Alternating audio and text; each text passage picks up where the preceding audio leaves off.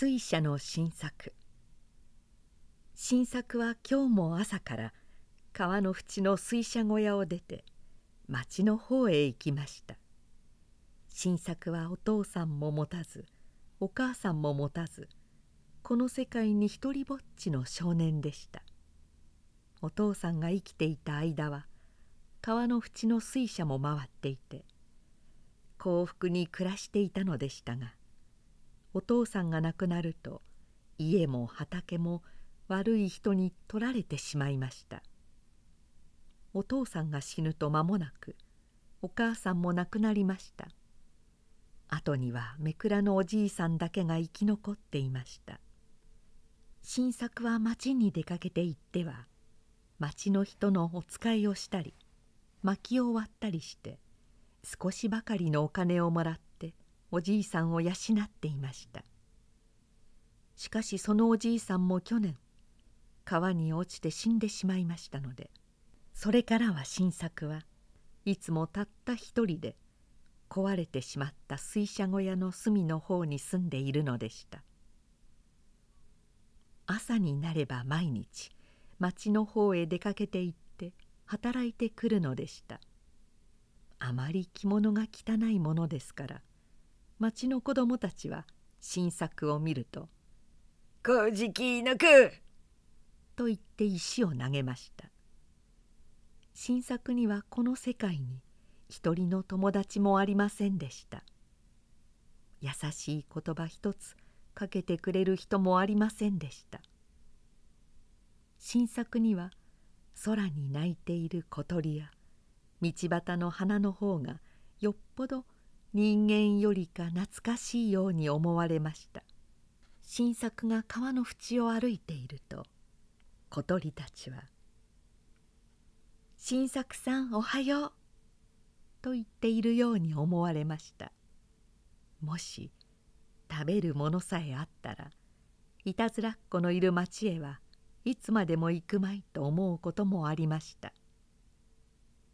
今日も町へ行いつも手伝いに行くお寺の栗で薪を割って和尚さんにいただいたお足でお米だの味噌だのを買って新作は帰ってきました町の出外れで新作は56人のいたずらな子供たちに取り囲まれてしまいましたいたずらな子供たちはいつものように「こうじき抜く!」と言っては石を投げたり竹切れをぶっつけたりしました。でも新作は他の子供たちよりはずっと走ることが上手でしたから石を投げつけられながらも逃げることができました。お米と味噌を懐の中に大事に抱いて川の縁まで逃げてから新作は初めてほっとしました。土手の地蔵様のお堂の屋根にはいつもの鳥が「新作さんおかえり」というような声で鳴いていました。夕暮れの空が真っ赤に焼けていました。あの夕焼けの空の向こうに行ったらお父さんやお母さんがいるのかもしれない。あそこに行ったら誰も石を投げたり小じきの子なんていう人はいないだろう。こう思うと早く夕焼けの空の向こうへ行きたくて仕方がありませんでした。なぜ僕はいつも一りぼっちなんだろう？新作はぼんやり考え込んで夕焼けの空を見つめていました。ちょうどその時後ろから新作の肩をたたくものがありました。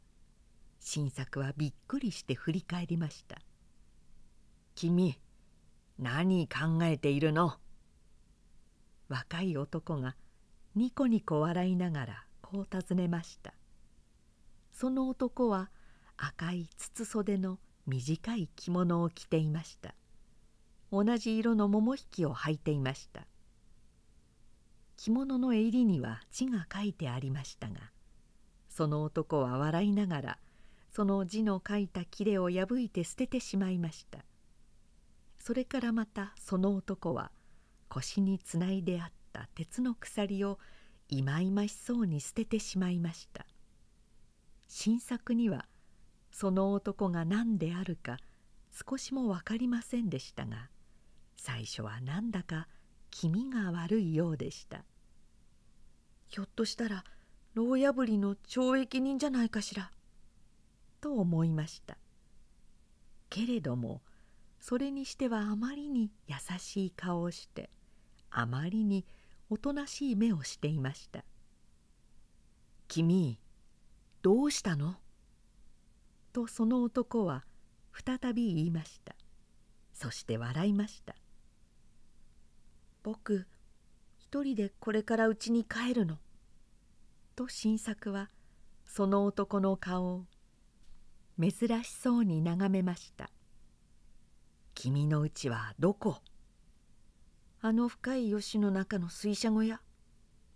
僕もそこへ連れてってくれない？ああ連れて行ってあげよう。と新作は言いました。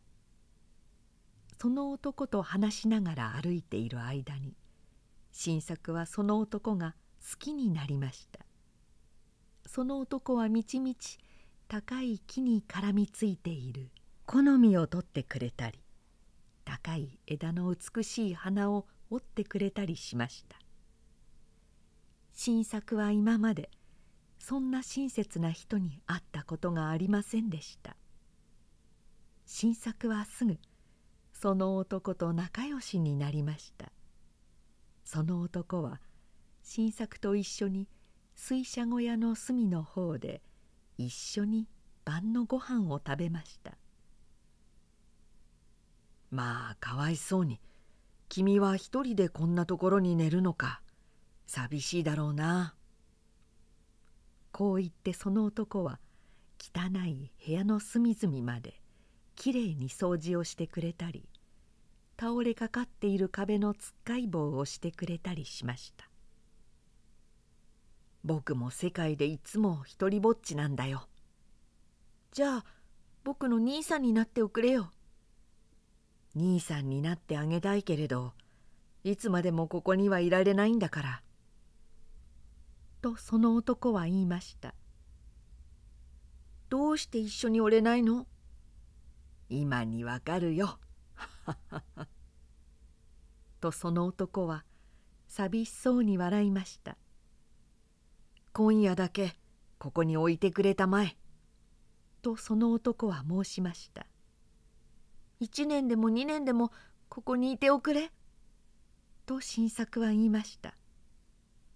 僕は痛いけれども。とその男は深いため息をつきました二人が晩のご飯を食べてしまった頃大きなお月様が川の向こう岸から出てまいりました「いい月だなあ久しぶりにこんな月を見た」とその男は言いました「君は笛を持っているかい?」もう千に一つおじいさんがこしらえてくれたけれどなくしちゃったそんなら僕がこしらえてあげようその男は水車小屋の裏の竹やぶの中に入っていって竹を一本切ってきましたそれから30分ばかりの後にはその男は立派な笛を一つこしらえていました。吹いてみようかとその男は言いました「ああ」その男は上手に笛を吹きました。笛を吹きながらもその男はしょっちゅう外の足音に気をつけていました。本当に面白いな。新作は手拍子をとって歌いました。月はだんだん明るくそして高く登っていきました。その男の吹く笛の音はだんだん冴えてきました。新作は嬉しくてたまらないのでしまいには踊り出しました。新作は5年でも10年でもその男のような親切な人と一緒に生きていたいと思いました。もしこの世界にその男のような人がたくさんいたらどんなにか幸福だろうと思いました。二人は水車小屋の隅に藁を敷いて寝ました「君君のお父さんか誰かの古い着物はないの?」とその男は尋ねました。川にはまって死んだおじいさんの着物が一枚柱の釘にかけられたままになっていました。新作はその着物をその男にやりました。男は赤い着物を捨ててしまっておじいさんの着物と着替えました。今夜は初霜かな。バカに寒い。家の周りをずっと一回り回ってきた男はこう言って新作の横にごろりと寝転んでしまいました。新作は藁の寝床の中にまるで自分の兄さんにでも抱かれたようにすやすやと眠りました。藁の寝床はいつになく暖かでした。新作は本当に幸福でした。あんまり嬉しいので時々目を覚ましました。新作が目を覚ましてその男を見ると男は「早くおやすみ。僕がいるから安心しておやすみ」と言いました。戸口から差し込んでくる月の光がその男の顔を白く照らしていました。新作はその男の胸にしがみつくようにして幸福な夢を見ました。しかし新作が4度目に目を覚ましてその男の顔を見ようとした時でした。新作はがっかりしました。もうその男はそこにはいませんでした。新作は驚いて飛び上がりました。そして小屋の中を探しました。家の周りを探しました。しかしその男の姿は見えませんでした。夢だったのかしら。こう思って部屋の中を見ました。そこにはゆうべその男が作ってくれた笛がちゃんと窓の脇に置いてありました。新作は笛を握ったままぼんやり窓の外を見ました。月がまだかなり高くかかっていました。吉の上には深い霜が一面に漂っていました。新作は夜が明けるまで眠られませんでした。道を歩きながらその男に似た人を探しましたがとうとうその男の姿は見えませんでした。夕方すっかり疲れて帰ってくる時でした。新作は土手の上から剣を下げた男やピストルを持った男たちが七八人で吉の中を探しているのを見ました。一人の男は馬に乗っていました。昨日監獄から逃げた男があるんだとさ。若いいい男だってさ。畑に働いている人たちがこんなことを話していました。新作はどしんと胸をつかれたような気がしました。きっとあの人なんだろう。でもどうしてあんな優しい人が監獄なんかに入れられたんだろう。新作には大人の世界というものが不思議でなりませんでした。新作は水車小屋に帰ってきました。やっぱり元のところに笛が置いてありました。